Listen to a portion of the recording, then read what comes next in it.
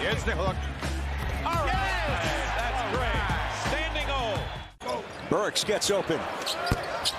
Long bounce. There's Robinson. Fournier second chance. Nails the three. You really could miss something. Yep, we mentioned the Knicks must bring their D tonight. Slow these guys down. Oh, wow. The moon ball goes down.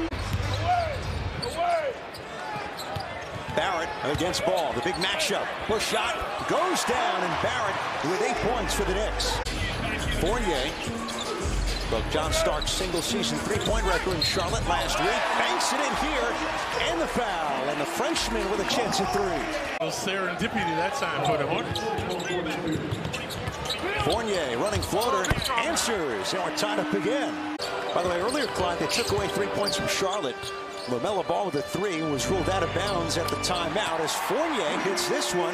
He's got 13. Ball, Whoa. deep three, too much. Oh. Knicks reluctant to get the rebound. Fournier knocks down the three, and we're tied up. Fournier gets by Martin, the drive, the switch, rolled oh. off.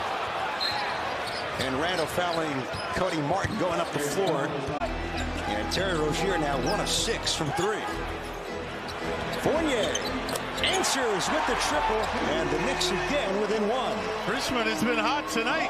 They also have 27 assists right at their season's average. Fournier has one to shoot, throws it up, and hits. Seven Fournier nails it to beat the shot clock. And it looks something like we've seen the last three possessions by him. Fournier spinorama, Banker's good.